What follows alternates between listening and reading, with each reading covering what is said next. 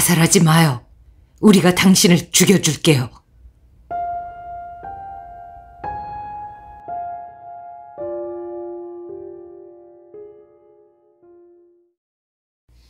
페데리코 아사트 장편 소설 다음 사람을 죽여라 파트 1의 9장입니다. 테드의 원래 의도는 로비 차우드의 거실 가장 구석진 곳으로 가서 창밖을 보는 척하며 시간을 죽이는 거였다. 그러나 그의 계획은 아서의 서재를 나서는 순간 무산되었다. 노마가 다가와 억지 미소를 지으면서 차가운 맥주를 건넸고 커피 테이블 주위에 둘러앉아 대화를 나누는 두 쌍의 남녀에게 그를 데려갔다. 다행히도 그들은 테드가 아는 사람들과 멀리 떨어져 있었다. 그는 노마가 왜 이 사람들을 골랐는지 약간 궁금해졌다. 여자들은 자기들끼리 사적인 대화를 나누고 있었고 짧은 침묵으로 새로운 사람을 환영해 주었다. 여자들의 대화에 형식적으로 참여하며 고개를 끄덕이거나 때때로 맞장구를 쳐주던 남자들은 고개를 들고 테드를 반갑게 맞았다. 그러나 테드는 자리에 앉을 생각이 없어 계속 서 있었다. 이때 테드는 남자들 중 하나가 예전에 같은 반이었다는 걸 알아차렸다. 그는 덥수룩한 검은색 턱수염을 자랑하고 있었다. 테드는 그 하늘색 눈을 보고 누군지 알아보았는데 그를 고등학교 복도에서 본 것이 어렴풋이 기억났기 때문만이 아니었다. 그건 조금 전 로비 차우드의 눈에서 보았던 복종의 빛이 그의 눈에서도 떠올랐기 때문이었다. 이 파티에 온 사람 중 동창생이 아닌 사람은 없는 걸까? 테드는 지금까지도 이렇게 만나서 즐기며 사는 이 아웃사이더들의 모임이 가슴 저릿할 정도로 부러웠다. 테드의 고등학교 친구들은 모임을 갖지 않은 지 여러 해가 되었다. 바닥 온도가 그자를 구해준 거야. 한 여자가 말했다. 턱수염과 하늘색 눈을 가진 남자의 아내가 한 말이 즉시 테드의 관심을 끌었다. 그는 맥주 캔을 입으로 가져가면서 슬쩍 다가갔다. 이해가 안 가네. 다른 여자가 말했다. 당신이 설명해봐, 바비. 바비 펜더게스트. 테드는 과거에서 날아온 화살에 맞은 것처럼 갑자기 그의 이름이 기억났다. 예전부터 모든 것에 대한 해답을 알고 있어서 작은 천재라고 불렸던 친구. 고등학교 2학년 때 영재학교로 전학 갔다는 사실이 기억났다. 아, 펜더게스트, 너였구나. 다른 무엇보다도 그를 기억하고 있다는 사실에 자부심을 느끼면서 테드가 말했다. 네 명 모두 약간 충격을 받은 얼굴로 테드를 돌아보았다. 바비가 아무 말 없이 고개를 끄덕였다. 왜? 이건 답을 모르겠어, 바비? 테드는 탁자 주위에 있는 딱 하나 남은 빈 의자에 앉기로 결심했다. 다른 손님들의 이야기가 배경으로 들려서 침묵이 그리 어색하지 않았다. 나 테드 맥케이야. 테드가 손을 내밀면서 말했다. 바비가 소개를 맡았다. 아, 이쪽은 랜스 파이어스타. 테드가 한 번도 들어보지 못한 이름이 틀림없다. 잊을 수 있는 이름이 아니니까. 그는 마르고 머리가 빨간색인 남자의 주근깨 박힌 손과 악수했다. 그러고 나서 여자들과도 악수를 했다. 이쪽은 테레사, 이쪽은 트리시아. 트리시아의 손이 스펀지처럼 물컹했고 무슨 이유에선지 테드는 그 손을 잡는 순간 웬델의 시신을 떠올렸다. 거실 카펫 위에서 치워졌을까? 테드와 나는 고등학교 동창이야. 바비가 말했다. 테드는 대화가 딴 길로 새지 않기를 바랐다. 조금 전에 그 살인 사건에 대해서 얘기하는 것 같던데. 엿들을 생각은 아니었지만 듣게 됐어요. 트리시아가 잠깐 이맛살을 찌푸리더니 기억해냈다. 아, 네, 그랬죠. 그자가 무혐의로 풀려났는데 피해자 가족은 이제야 그가 어떻게 그럴 수 있었는지를 알게 된 거예요. 음, 이제 너무 늦었지만요. 어떻게 이 사건을 모를 수가 있어, 테레사.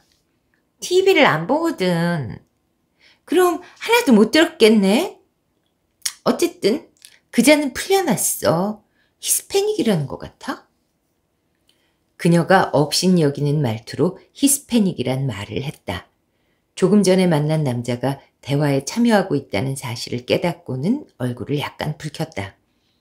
테드는 얘기를 계속 듣고 싶어서 심각한 표정으로 체념한 듯 고개를 끄덕였다.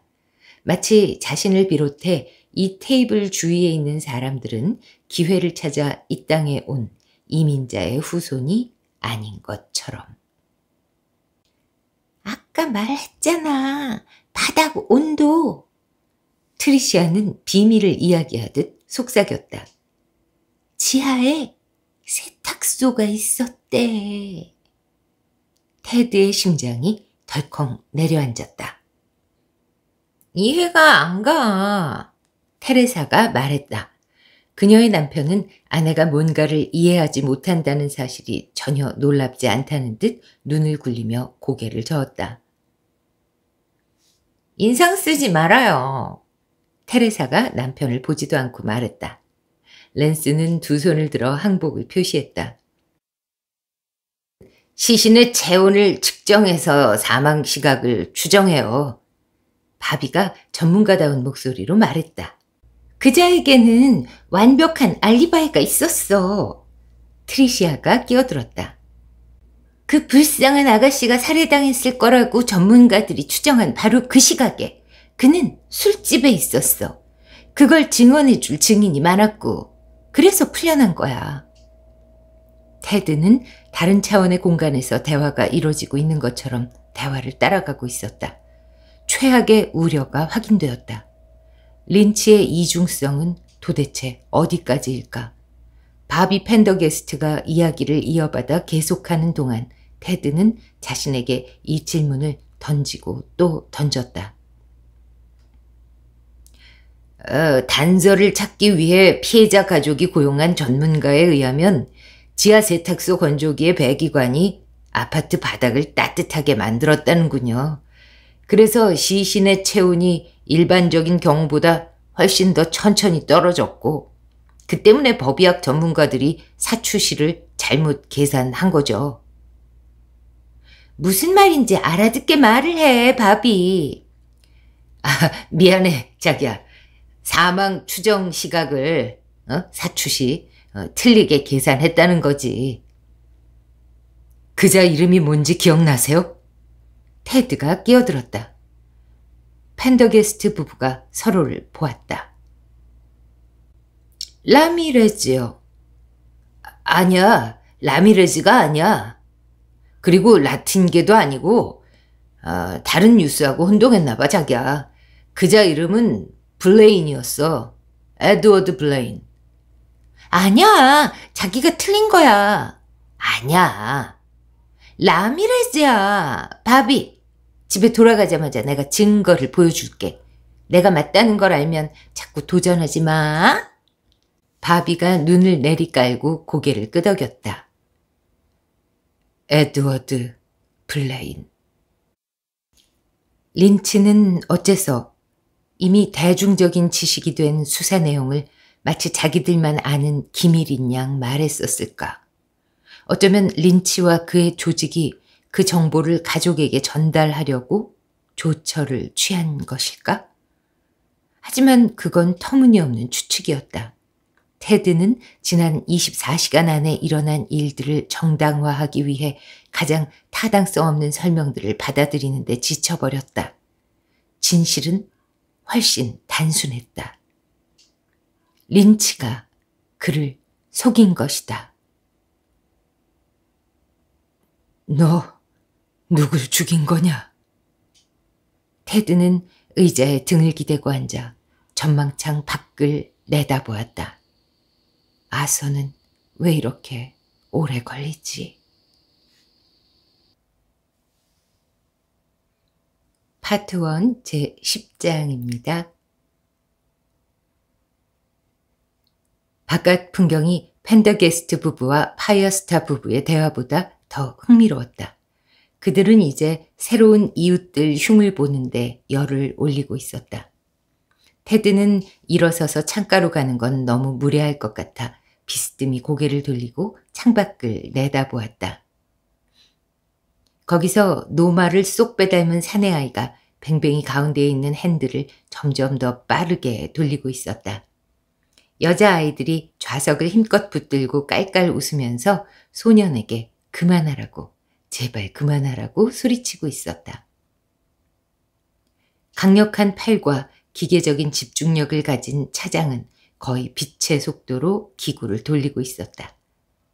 여자아이 하나가 소년 티모시에게 그만하라고 간청했지만 즐겁게 깔깔거리는 걸 보면 뱅뱅이가 멈추는 걸 결코 진심으로 원하는 건 아닌 것도 같았다. 티모시 로비 차우드는 그 나이 때 소심하고 수줍음을 많이 타던 자기 아버지와는 다른 미래를 살 것이다. 소녀들의 뱅뱅이 탑승이 끝났다. 소녀들은 현기증에 비틀거리며 내려와서 티모시를 기쁘게 해주었다. 티모시는 중앙의 핸들을 계속 돌리기 위해 뱅뱅이에 남아서 하나도 안 어지러운 척하며 자신의 강철 체력과 원심력의 다음 희생자를 기다리고 있었다. 가히 뱅뱅이의 신이라 할 만했다. 먼저 탄 여자아이들보다 몸집이 작은 남자아이 하나와 여자아이 하나가 티모시 양쪽의 좌석을 차지했다. 잘 들리지 않았지만 티모시가 아이들에게 주의사항을 일러주는 것 같았다. 꼬마들은 길게 이어지는 주의사항을 들으면서 웃음이 사라졌다. 마치 위험한 롤러코스터를 처음 타려는 아이들 같았다. 테드가 앉아있는 곳에서는 서재에서 그의 관심을 끌었던 타이어 그네가 걸려있는 나무도 보였다. 마당의 다른 부분과 비교하니 낡은 고무 타이어는 아까보다도 훨씬 어색해 보였다. 그 집의 완벽함과 어울리지 않는 소품. 그때 타이어 그네가 부드럽게 앞뒤로 흔들렸다. 나무에서 2, 3미터 떨어진 곳에 여자 둘이 벤치에 앉아 있었다. 아이들을 지켜보려는 목적이겠지만 실은 둘이 나누는 대화에 훨씬 더 관심 있는 것 같았다. 두 사람이 고개를 돌려 서로를 보고 있었기 때문에 테드에게는 옆모습만 보였다. 돌이 지났을까 말까 한 여자아이가 빨간 물방울 무늬가 있는 흰 원피스를 입고 넘어졌다 일어났다. 테드는 흔들리는 타이어와 걸음마를 배우는 아기를 번갈아 바라보았다. 아기는 벤치를 붙잡고 있거나 공기를 잡는 신용을 하며 뒤뚱뒤뚱 앞으로 내디딛다 엉덩방아를 찍곤 했다. 그러면 까르르 웃으면서 엄마가 듣든 말든 엄마에게 뭐라고 옹알거렸다. 타이어가 더 세게 흔들리는 것 같았다. 응? 어떻게 그럴 수가 있지? 건드린 사람이 아무도 없는데. 아기가 작은 꽃을 향해 곧장 걸어가서 오랫동안 살펴보더니 그 옆에 무릎을 꿇었고 입술을 움직이는 것이 따도 되냐고 물어보는 것 같았다. 아기가 자그맣고 통통한 손가락으로 그 꽃을 따서 엄마에게 전하는 동안 타이어가 훨씬 더큰 홀을 그리며 움직이기 시작했다. 저 정도로 흔들리려면 바람이 꽤 거세게 불어야 할 텐데 집안에서 봐도 바람이 거의 불지 않는다는 걸 테드는 알 수 있었다. 무언가가 타이어에 매달려 있었다. 아까는 거기 없었던 것. 처음에 테드는 뱀이라고 생각했지만 타이어 구멍을 통해 밖을 훔쳐보는 주머니 쥐가 보였다. 꼬리가 축 늘어져 있었다. 주머니 쥐도 테드를 빤히 보았고 테드는 자기도 모르게 벌떡 일어섰다. 트리시아 펜더게스트가 그를 보며 얼굴을 찌푸렸다. 테드는 휴대전화를 꺼내 확인한 뒤 주머니에 다시 넣으면서 휴대전화 때문인 척 했다. 다시 타이어를 보다가 그 사악한 유해동물과 눈이 딱 마주쳤다. 주머니 쥐가 창문에서 그리고 테드에게서 눈을 떼지 않은 채 그 작고 날카로운 이로 타이어를 깎는 것을 보자 꿈에서 본 것들이 되살아났다. 아기는 그 작은 두 팔을 앞으로 내밀고 넘어질 듯 위태롭게 그 동물 옆을 돌아다니고 있었다. 테드는 벌떡 일어나서 단 두 걸음 만에 창가에 다다랐다. 거실의 대화가 중단되었고 몇 명이 그를 돌아보았다. 이제 주머니 쥐는 타이어 위에 올라가 앞발로 타이어를 꽉 붙잡고 있었다. 발톱이 무섭게 길었다. 아기가 타이어에서 2미터 정도 떨어진 곳에서 걸음을 멈춘 것을 보면 아기도 주머니 쥐를 본 것 같았다. 그러나 그게 뭔지 잘 몰라서인지 비틀거리며 두세 걸음을 더 갔다. 제발, 아가, 제발, 엄마한테로 돌아가. 저런 동물은 매우 위험하다. 온갖 병균을 옮기고 사람을 공격할 수도 있다. 아기가 주머니 쥐를 고양이나 다른 무해한 동물로 착각하고 다가가서 쓰다듬으려 할 수도 있다. 드디어 잠깐 망설인 후에 아기가 용기를 내어 타이어를 향해 돌진했다. 오, 하나님. 테드가 손바닥으로 유리창을 쾅쾅 쳤다. 조심해! 그가 소리쳤다. 그 순간 사방이 쥐죽은 듯 조용해졌고 모두 테드를 돌아보았다. 성질 급한 손님이 창가로 달려왔고 두세 명은 테드의 뒤에 섰다. 몇 명은 자기 자리에서 무슨 일인지 알지 못한 채 사방을 둘러보았다. 노마가 부엌에서 달려와서 무슨 일이냐고 물었다. 밖에서는 벤치에서 대화를 나누는 두 여자도 놀고 있는 아이들도 모두 테드의 경고를 듣지 못한 것 같았다. 특히 그 어린 여자 아기도. 아기가 타이어를 향해 비틀거리며 마지막 몇 걸음을 내딛고 있었다. 테드는 창문과 씨름했다. 밀어서 여는 창문 위아래가 걸쇠로 잠겨 있었다. 무슨 일입니까? 옆에 선 남자가 물었다. 아기가 위험해요. 테드가 그를 돌아보지도 않고 말했다. 타이어 위에 커다란 주머니 쥐가 있어요. 테드의 극심한 공포가 다른 사람들에게 전염되었다. 여자들이 벌떡 일어나서 달려왔고 비명을 지르는 여자도 있었다. 안 보이는데요! 한 여자가 소리쳤다. 아니, 바깥에 타이어 그네가 몇 개나 있다고 안 보입니까, 부인? 다른 손들이 유리창을 두드리기 시작했고 마침내 수다를 떨고 있던 엄마들의 관심을 끌었다. 그녀들이 걱정스런 표정으로 집을 보았다. 수십 개의 얼굴이 창문에 붙어 필사적으로 주의를 끌려는 것을 보고 분명 깜짝 놀랐을 것이다. 저 안에서 무슨 일이 있나?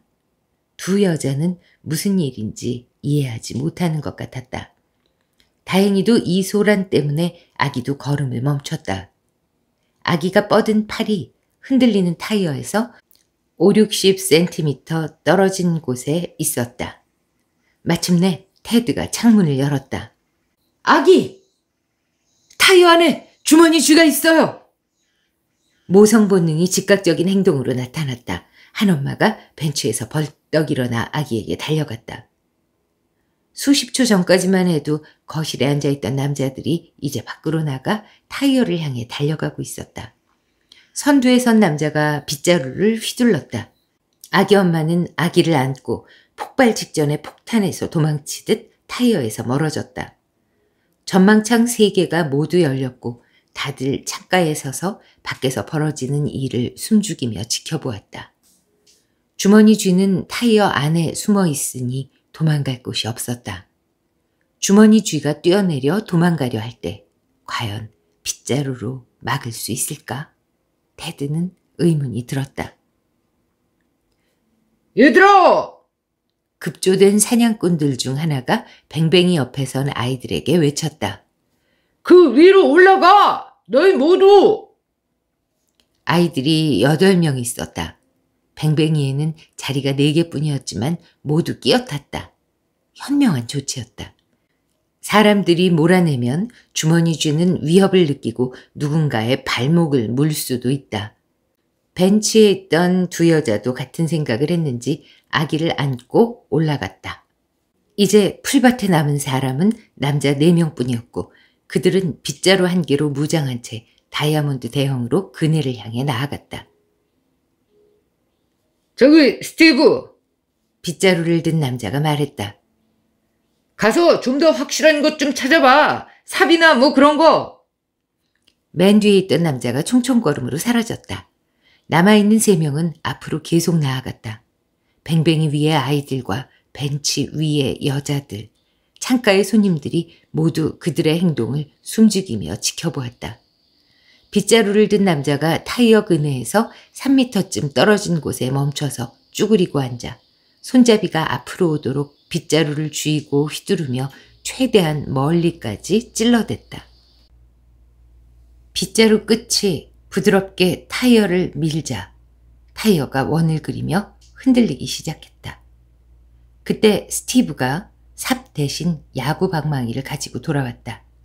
다들 그 새로운 무기를 인정하는 분위기였다. 그들은 타이어를 에워싸고 이쪽에선 빗자루 손잡이로 타이어 안쪽을 찌르고 저쪽에선 야구 방망이를 들고 기다렸다.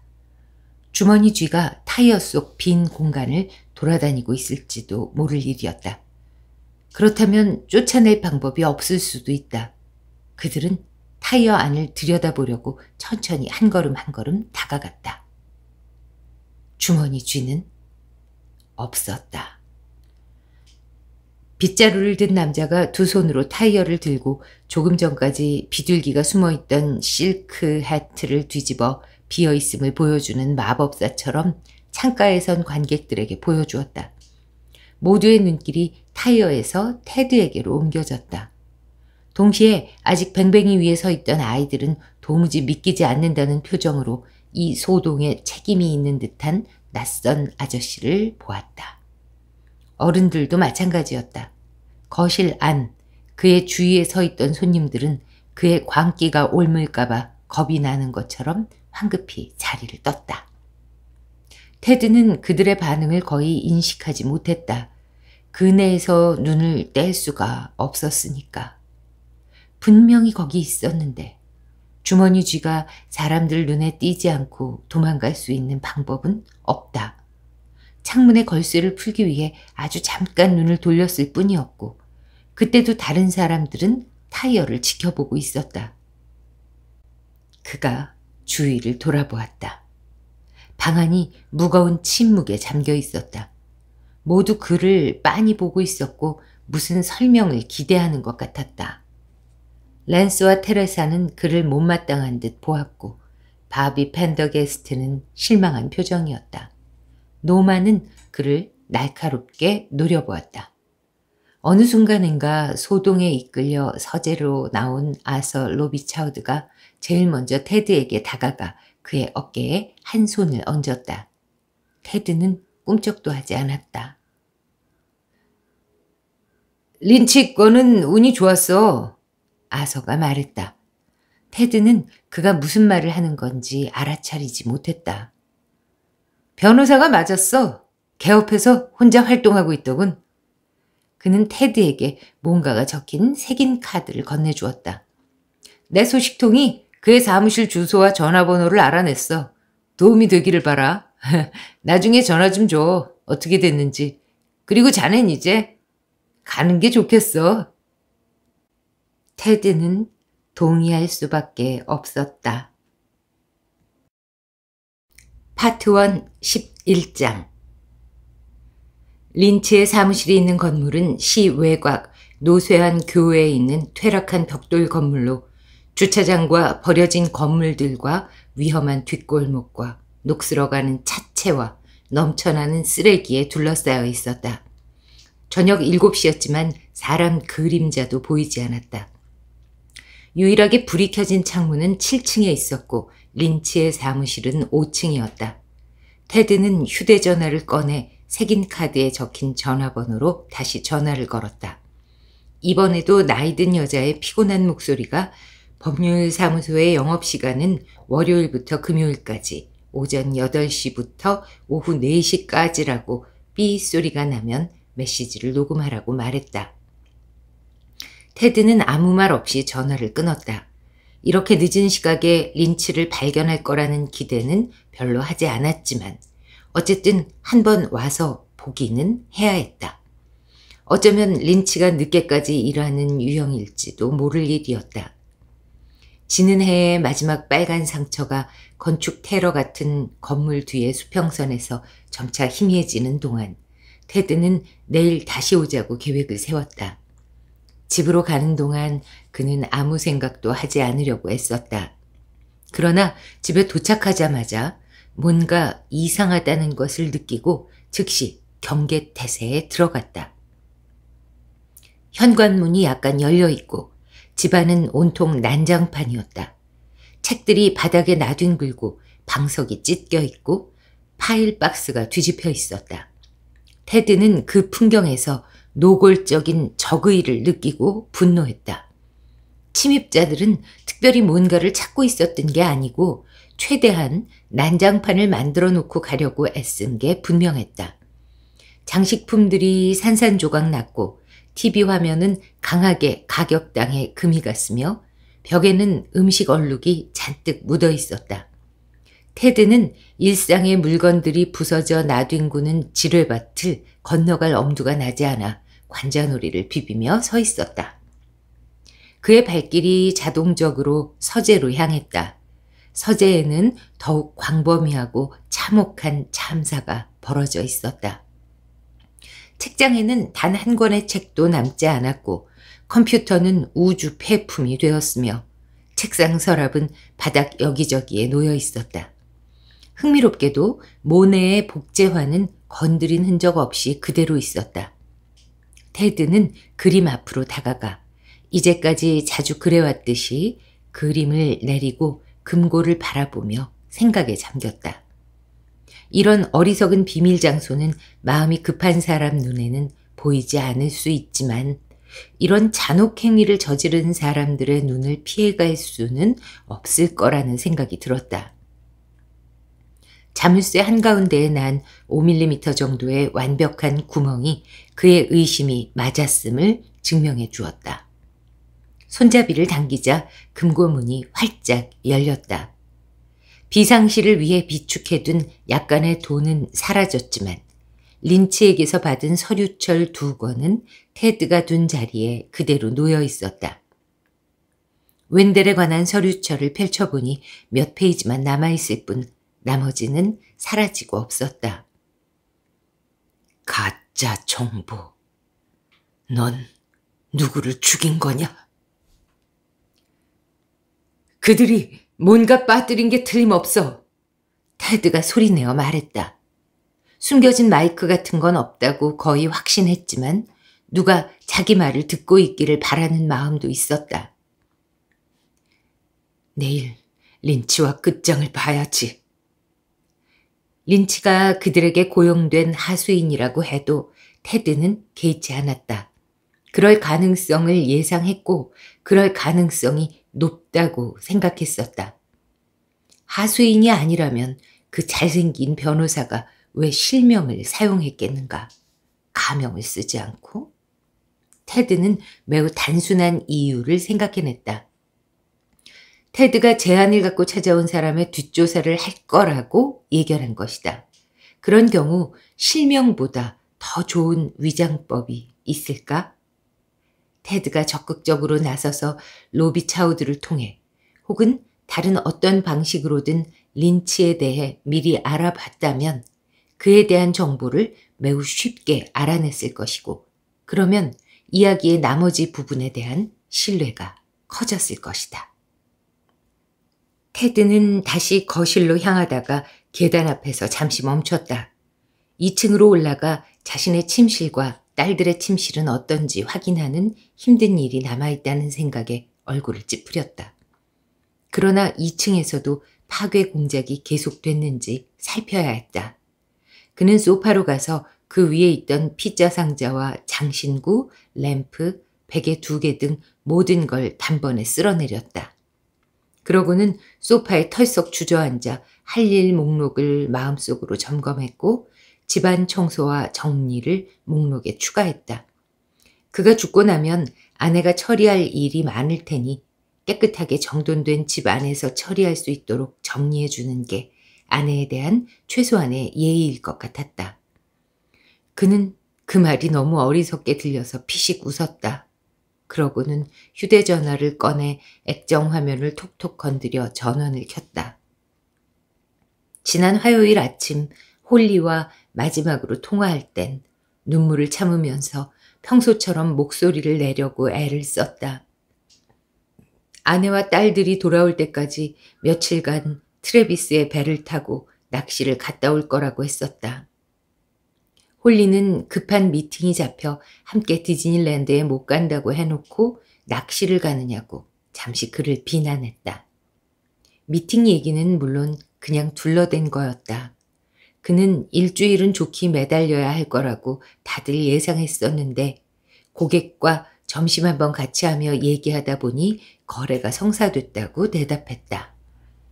홀리는 유감이라면서도 어쨌든 덕분에 플로리다에 있는 남자친구와 더 많은 시간을 함께 보낼 수 있게 됐다고 말했다. 신디가 그 얘기를 듣고 있었던 모양인지 플로리다에 엄마 남자친구 없다고 바로 뒤따라 외치며 아빠를 바꿔달라고 요구했다. 테드는 신디와 통화한 후 나딘과도 통화를 했는데 나딘은 언제나처럼 언니가 엄마를 하나도 안 도와준다고 흉을 본 다음 그날 일을 자세하게 보고했고 테드는 기쁜 마음으로 그 이야기를 들었다. 홀리는 전화 한 통 할 수 있는 거리에 있다. 테드는 그녀의 이름이 나올 때까지 주소록을 밀어 올리다가 멈췄다. 액정화면이 희미해지다가 거의 어두워졌지만 그녀와 얘기를 나누고 싶다는 그의 바람은 약해지지 않았다. 그가 엄지손가락으로 화면을 톡톡 쳤다. 홀리의 목소리는 물에 빠져 죽어가는 사람에게 공급된 신선한 공기 같았다. 낚시 여행은 어떻게 됐어? 아가씨들이 막판에 우리를 바람 맞췄어. 홀리가 깔깔대며 웃었다. 놀랍지도 않아. 당신들 사진을 봤나 보네? 잠깐 침묵. 테드는 전등을 켜지 않았다. 바깥에서 스며드는 햇빛이 점점 희미해지고 있었다. 그늘진 거실의 혼돈스러운 분위기와는 달리 홀리의 목소리는 차분하고 단정했다. 오, 내가 당신을 얼마나 그리워하는지. 안녕, 자기야. 안녕, 테드. 오늘 정말 무더웠어. 애들은 당신한테 얘기 안 하겠지만 이 끔찍한 무더위에 다들 지쳐가기 시작했어. 배경으로 신디의 목소리가 들렸다. 거짓말이야, 아빠! 내가 보고 싶은 모양인데? 테드가 말했다. 그러고는 즉시 후회했다.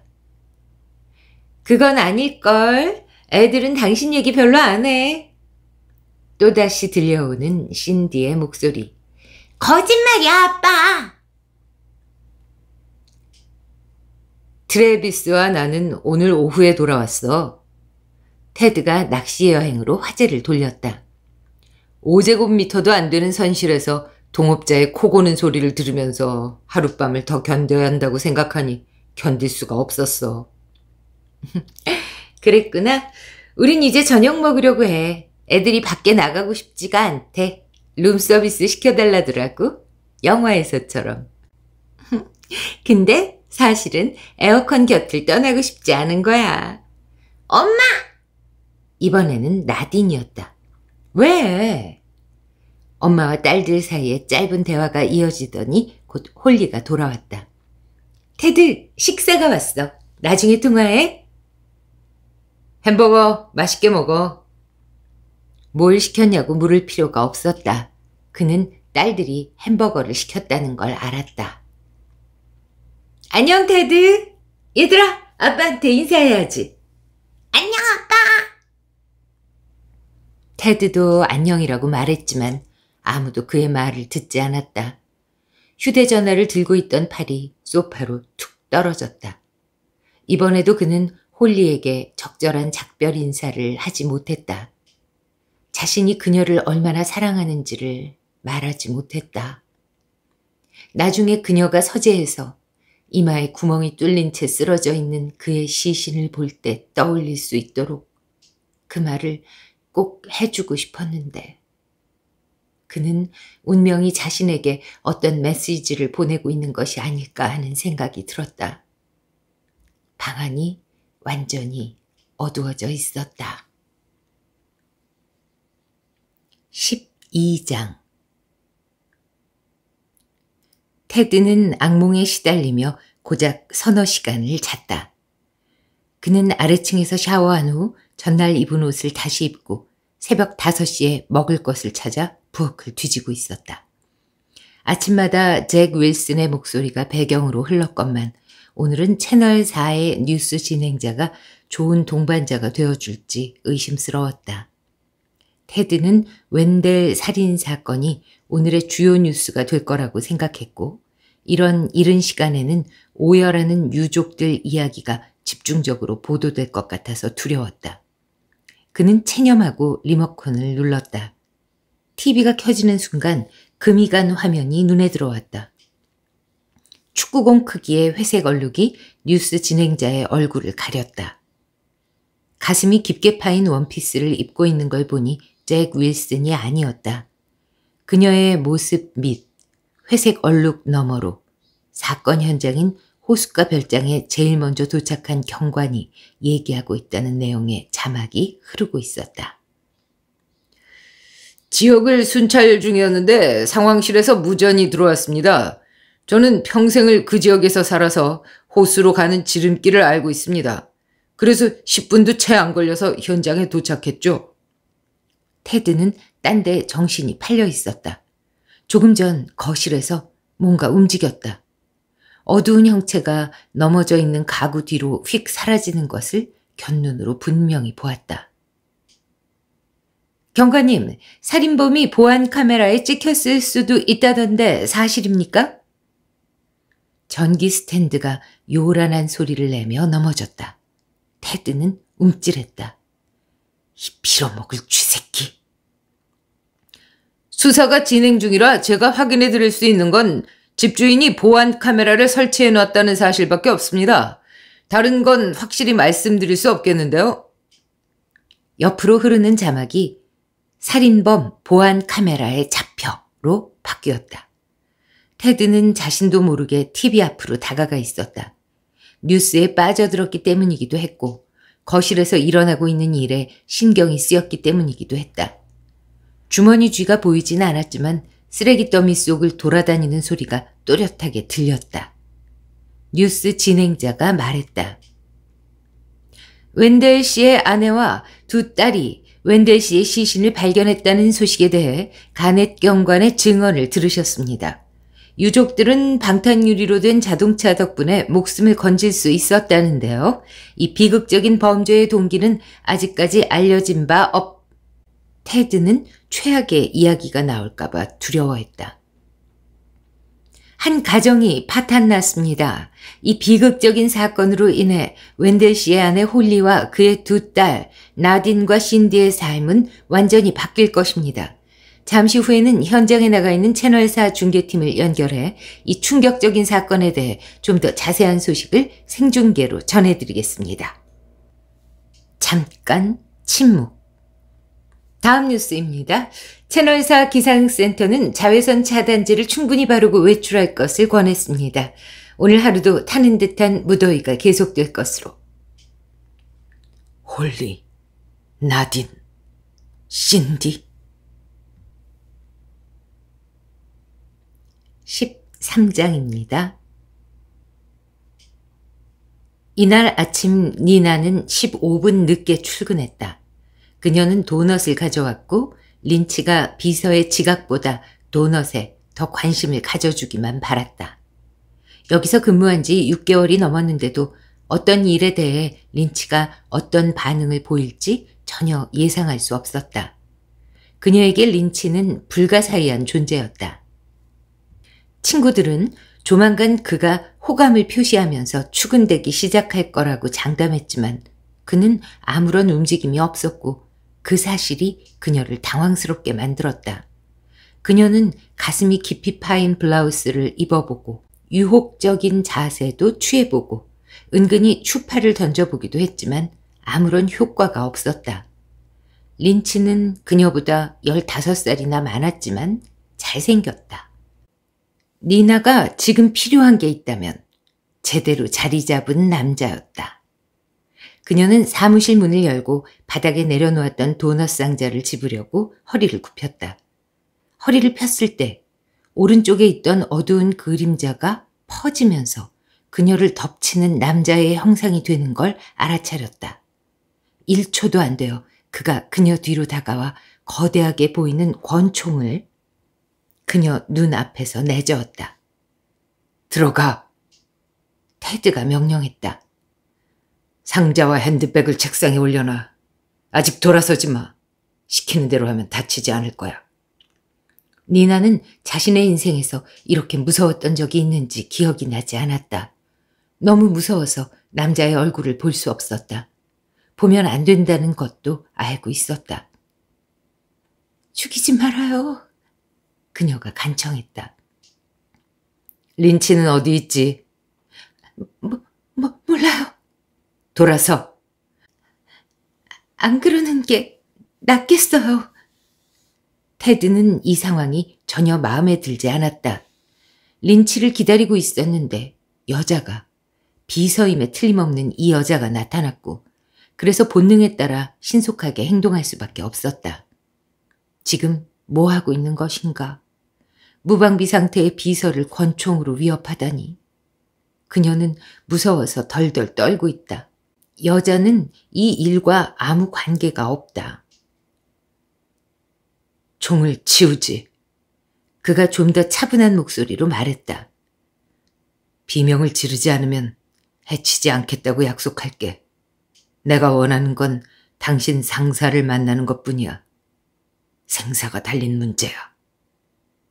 그 말이 그녀에게 효과를 발휘하는 것 같았다. 그녀는 계속 두 손을 든 채 훌쩍거렸다.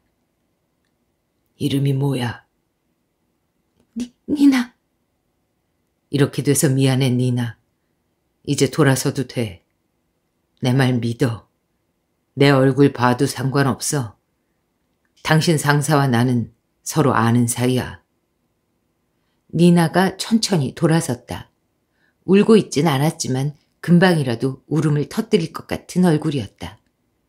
그녀가 테드를 위아래로 훑으면서 정말로 총이 보이지 않는지 확인했다. 첫 인사가 무례해서 미안하군. 내가 너무 요령이 없었어. 그녀가 고개를 끄덕였다. 그러나 얼굴에서 두려움이 사라지진 않았다. 걱정할 거 없어. 이게 당신 책상인가? 네. 거기 앉아. 난 여기 앉을게. 우리 둘이서 린치를 기다리는 거야. 괜찮지? 니나가 아주 천천히 책상을 돌아갔다. 그러고는 의자에 앉았다. 두 손은 책상 위에 올려놔. 그녀가 시키는 대로 했다. 린치 밑에서 일한 지 오래됐어? 아, 아니요. 몇 개월 전부터요. 그렇군. 옆 사무실에는 누가 있긴 있어? 니나가 대답을 망설였다.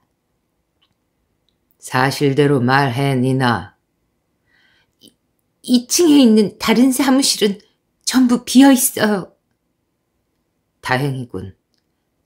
아까 약속했죠? 해치지 않을 거야. 당신에게 다른 방식으로 내 소개를 했어야 했는데 그걸 이제 알겠어. 그때 당신이 들어오리라고는 예상 못했어. 왠진 모르지만 비서가 있을 거란 생각이 안 들었거든. 어리석었지. 니나는 그 말에는 대꾸하지 않았다. 원하시면 도넛 드세요. 그녀가 턱으로 도넛 상자를 가리키며 말했다. 테드는 웃음을 참을 수가 없었다. 아니야, 됐어. 고마워. 린치는 보통 9시에 출근하나?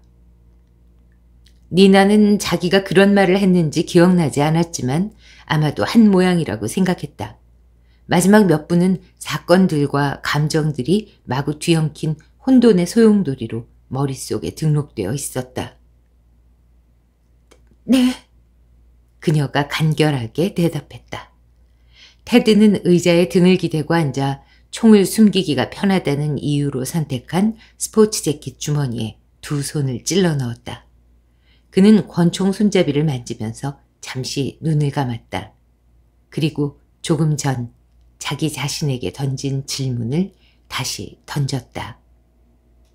너 도대체 뭐 하고 있는 거냐? 자, 이제 파트 1의 마지막 장 14장입니다. 어, TMI지만요. 모든 장 번호에는요. 그 체스의 말 있죠? 그 그림이 그려져 있어요. 린치는 니나의 책상에서 던킨 도너츠 상자를 보고 다가가 집게 손가락으로 뚜껑을 들었다. 그러고는 살짝 찌푸린 얼굴로 도넛을 바라보았다. 니나가 화장실에 갔나 생각하던 중에 사무실에서 나는 소리를 들었다. 거기서 뭐 하는 거지? 그런 게 아니기를 바랐다. 만일 그녀가 저 안에서 뭘 하고 있다면 비서의 의무와 제약에 관해서 불편한 대화를 나눠야 하기 때문이었다. 문을 열자 그의 책상 앞에 앉아 있는 니나가 보였다. 나무 판자처럼 뻣뻣한 자세로 눈을 크게 뜨고 그를 보고 있었다. 오늘 그녀는 도발적인 옷을 입지 않았고 창백한 얼굴은 그를 유혹하려는 게 아님을 분명히 보여주었다. 린치는 니나의 눈길이 사무실 구석으로 향하는 걸 보고 그곳을 보았다. 그곳에 한 남자가 서 있었다. 이게 무슨 일이야? 린치가 물었다. 테드가 그를 유심히 바라보았다. 믿을 수가 없었다. 놀라웠다.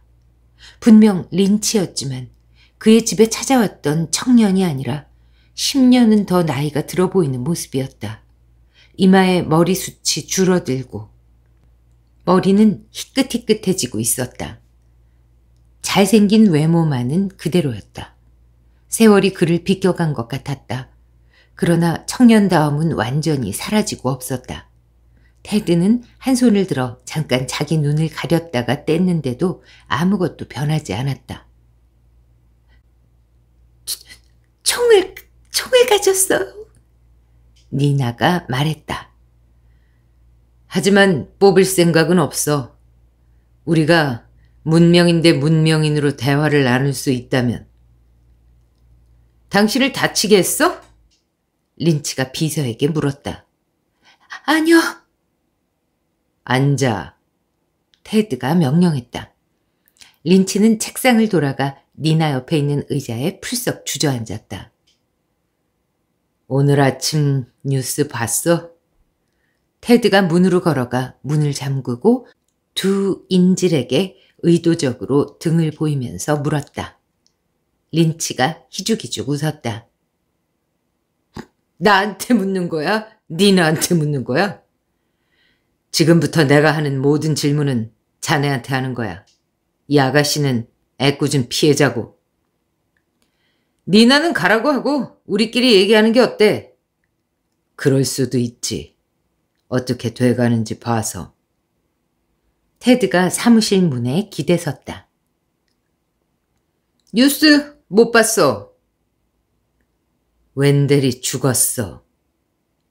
테드가 변호사의 표정을 살폈지만 놀란 흔적은 전혀 찾아볼 수 없었다. 살해됐지. 이봐, 우리 둘이서만 문명화된 신사 대 신사로 얘기해보는 게 어때? 어? 린치는 니나가 앉은 오른쪽을 흘깃하며 말했다. 허튼 수작은 꿈도 꾸지 마. 입 다물고 있을 거야. 그렇지, 니나? 니나는 대화의 일부는 놓쳤지만 열심히 고개를 끄덕였다. 한마디도 안 할 거예요. 우리가 서로 아는 사이라는 걸 알았으니까 경찰에 신고한다거나 할 이유는 전혀 없다고. 어, 그러니까 테드와 내가 해결할 문제가 좀 있어, 니나. 테드도 생각해 보았다. 니나가 곁에 있으면 웬델의 죽음에 대해서 터놓고 얘기할 수 없었다. 완전히 낯선 사람 앞에서 살인을 자백할 수는 없으니까. 나가. 집에 가. 테드가 불쑥 말했다. 니나가 의자에서 벌떡 일어나 책상을 돌아서 달려가 테드 앞에 멈췄다. 그가 아직 문을 막고 서 있었다. 니나는 핸드백을 꼭 쥐고 애원하는 눈으로 그를 보았다. 테드는 계속 린치를 보고 있었고 린치는 테드가 무슨 생각을 하는지 알아차렸다. 아, 니나, 이 일에 대해서는 누구한테도 한마디도 하면 안 돼, 어? 린치가 말했다. 테드와 내가 해결해야 할 일이니까. 테드가 옆으로 비켜섰다. 니나가 달려나갔고 문을 닫으려고도 하지 않았다. 테드가 대신 닫아주었다. 이제 진실을 전부 말해야 할 거야, 린치. 네가 나한테 덫을 놓았지, 이 개자식아. 아, 정보를 일부 숨겼다는 건 인정해. 하지만 그럴 필요가 있었어. 어? 진짜로. 테드가 앞으로 튀어나갔다. 두 팔로 책상을 짚고 린치의 얼굴 앞에 자신의 얼굴을 들이댔다. 뭐? 그럴 필요가 있었어? 하, 넌 웬델이 결혼했고 딸이 둘 있다는 사실을 나한테 일부러 말하지 않았어. 내가 그 사실을 알고 그 가족이 우리 가족처럼 느껴져서 얼마나 괴로웠는지 알아? 그에게 아내와 아이가 있다는 말을 했으면 자넨 그 일을 하지 않았겠지. 린치가 차갑게 말했다. 테드가 재킷 주머니에서 브라우닝을 꺼내 들었다. 그럼 넌, 린치, 넌 처자식이 있어? 신중하게 대답해야 할 거야. 언제라도 네 머리통을 날려버릴 수 있으니까. 제발, 테드! 총 내리고 내 설명 좀 들어봐. 설명은 이미 했잖아, 개자식아. 너무, 너무 혼란스러워. 무슨 얘기를 하는 거야? 테드는 총을 내리더니 주머니에 다시 집어넣었다. 그러고는 파일 캐비닛 옆에 있는 의자를 끌어다 놓고 털썩 앉았다. 얘기할 게 있으면 다 해, 린치. 얼렁뚱땅 넘어갈 생각일랑 말고. 변호사 린치가 고개를 끄덕였다. 실명을 알려줬잖아, 테드. 자네가 조만간 날 찾아오리라는 걸 알고 있었어. 린치는 의자에 등을 기대고 앉아서 충격적인 이야기를 했다. 이젠 정직해져야 할 것 같군. 웬델은 자살을 원하지 않았어. 린치가 그 말을 하자마자 파일 캐비닛 안에서 뭔가 움직였다. 좀 더 정확히 말하자면 맨 밑에 서랍에서. 테드가 본능적으로 돌아보았다. 소리가 사라졌다. 린치의 표정을 보니 그 소리를 못 들은 것 같았다. 웬델하고 나는 대학 때 만나서 절친한 친구가 됐어. 린치가 말했다. 당신은 조직이 자리를 잡는 시기였고, 곧 웬델이 조직에 참여했지. 사실 웬델은 조직의 주춧돌이었어. 하지만 정의를 실현하는 데는 관심이 없었지. 웬델은 냉혹한 살인마야. 수십 년 동안 수많은 사람을 죽였어. 테드는 이맛살을 찌푸렸다. 린치가 말을 이었다. 최근 들어서야 웬델의 비공식 활동에 대해 알게 됐어. 그것도 거의 우연히. 어떤 면에서는 나 또한 항상 의심하면서도 알고 싶지는 않았던 것 같아. 왜 고발하지 않았어? 웬델이 어떻게 사는지 못 봤어? 권력과 연줄이 엄청나잖아. 최고의 변호사들을 댈 수 있고, 웬델은 전에도 여러 번 곤경에 빠졌지만 항상 극복하고 재기했어. 구체적인 사안으로 꼼짝 못하게 할 수도 없었고. 네가 말해주지 않은 게 아내와 딸들 얘기만이 아니었어. 보안 카메라 얘기도 까먹었더군. 아, 미안해. 미안하다고. 테드가 침울하게 말했다. 내가 아무것도 잃을 게 없는 사람이라고 생각해서 그런 거야. 곧 모든 걸 이해하게 될 거야. 기다려봐. 그럼 블레인은? 블레인에 관해 나한테 준 정보는 하찮은 휴지 조각 같은 거였잖아. 놈이 유죄라는 건 모두가 알고 있었어.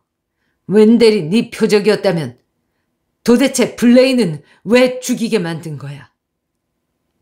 파일 캐비닛에서 소리가 또 들렸다. 아까보다 컸다.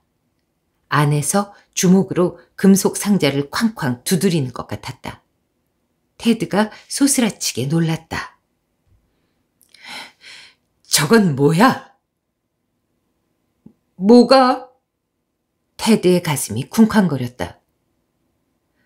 어, 뭐 좀 보여줄까? 린치가 물었다. 여기 서랍 속에 있는데. 테드가 다시 브라우닝을 꺼내 린치를 겨눴다. 천천히 열어. 물론이지. 린치가 가운데 서랍을 열었다. 이 서류철. 꺼내. 린치가 책상 위 테드의 손이 닿는 곳에 서류철을 올려놓았다. 테드가 의자에 등을 기대고 편안히 앉았다. 서류철은 린치가 그의 집에서 건넨 것들과 똑같아 보였다. 그걸 펼치려 하자 린치가 막았다. 그걸 펴기 전에 먼저 설명부터 좀 들어. 아까도 말했듯 난 최근 들어서야 웬델의 활동에 대해 에, 그가 살인을 저지르고 다닌 거에 대해서 알게 됐어. 웬델은 오랜 친구였지만 웬델이 끼친 피해가 너무 컸어. 어, 이제 펴봐. 테드가 브라우닝을 주머니에 넣었다. 이 안에 뭐가 있는지 말해. 그는 서류철을 건드릴 엄두가 나지 않았다. 아, 좋아. 홀리가 오랫동안 자네를 속이고 있었어. 그 서류철엔 반박할 수 없는 증거들이 들어있지. 사진, 통화 기록, 호텔 영수증 같은 것들. 테드는 경멸하듯 얼굴을 찌푸렸다. 그럴 리가 없었다.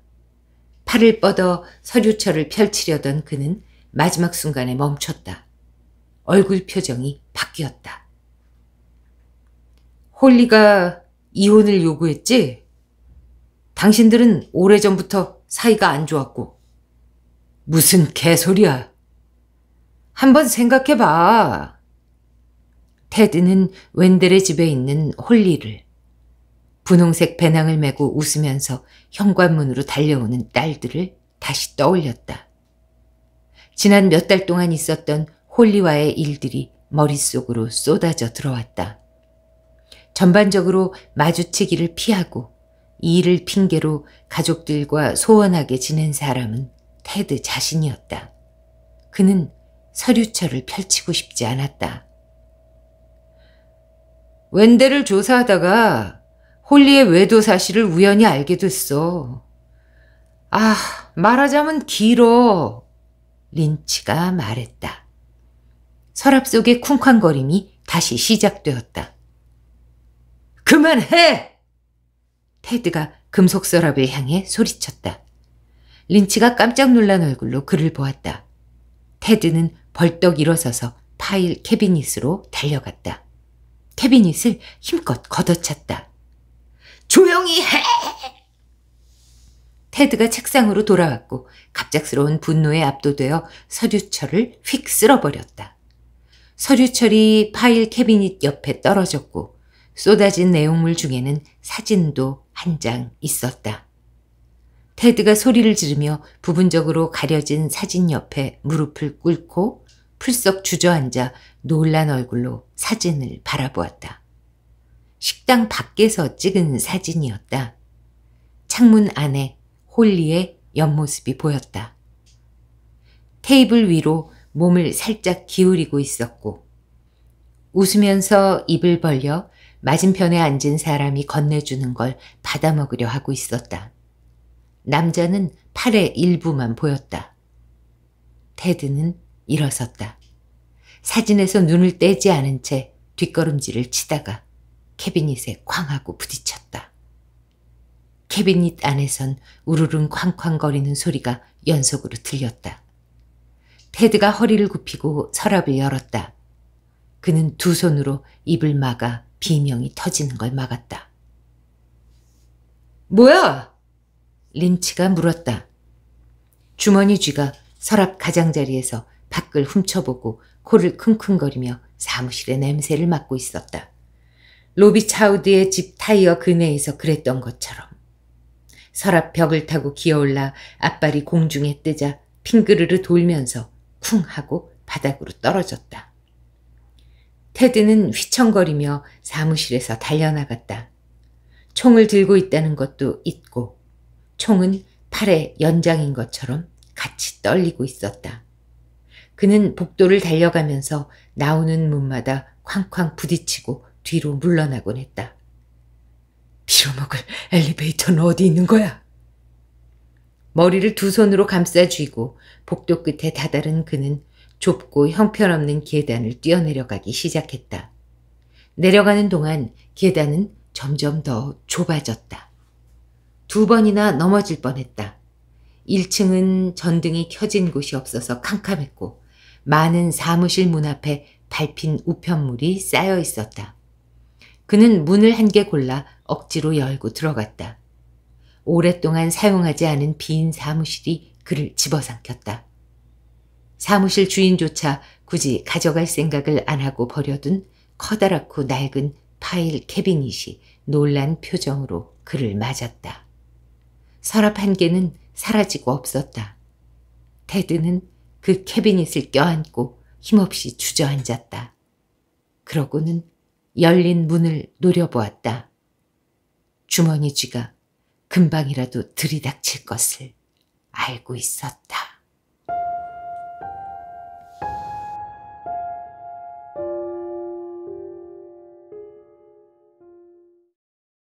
네, 이렇게 해서 다음 사람을 죽여라 파트 1이 끝났습니다. 어, 제가 아직까지는 어떤 스포도 하지 않는 게 좋을 것 같아서요. 아무 말 없이 그냥 물러가겠습니다. 좋아요, 댓글, 구독, 어, 알림 설정 부탁드리고요. 앞으로 이어질 파트 2, 3, 4 기대해 주시기 바랍니다. 감사합니다.